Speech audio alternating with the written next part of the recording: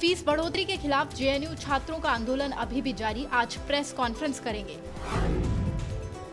संसद के शीतकालीन सत्र का आज दूसरा दिन। लोकसभा में आज दिल्ली समेत उत्तर भारत में बढ़ते वायु प्रदूषण पर बहस होगी।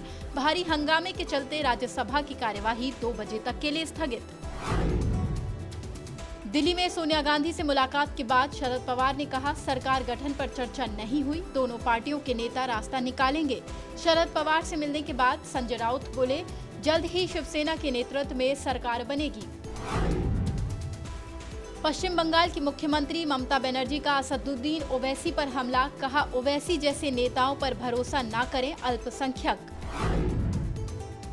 सियाचिन में 19,000 फीट की ऊंचाई पर एवलांच का कहर बर्फ़ में दबने से सेना के चार जवान और दो पोर्टरों की मौत।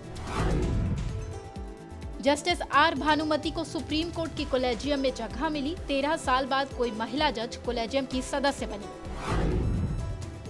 मोबाइल ग्राहकों को बड़ा झटका। एयरटेल वोडाफोन और आइडिया ने 1 दिसंबर से टैरिफ प्लान महँगा करने का ऐलान किया।